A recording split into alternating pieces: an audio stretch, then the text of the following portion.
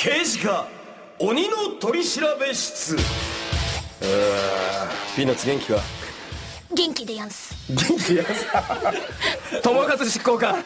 ちょちょっと怪しい奴がいたんで捕まえてきました。なんだって農村 の農農村農村でって俺のことですか？そうだよ。お前のことだよ。農村元気お前もともと農村にいたらしいじゃない農村にいました。なあピーナッツもなんか昔母ちゃんに弁当だが落花生でいっぱいにされたらしいから。もうその話いいでやんすよいいでやんすかおうよ。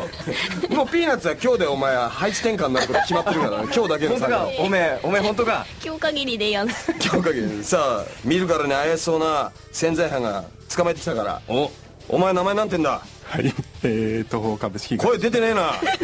もっと声出してけ声を。何がおかしいんだ?バカ野郎!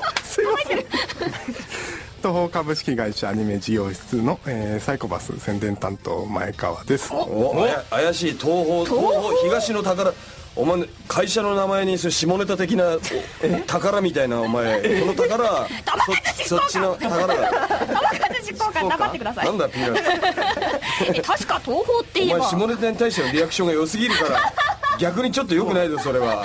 分かんないでいないとそういうスタンスを。そうでしたこの宝を何が俺が指してるかもう感づいちゃってるよ。これなんか分かんなかったでこっちの農村の方がお前ちょっと可愛い感じになっちゃって。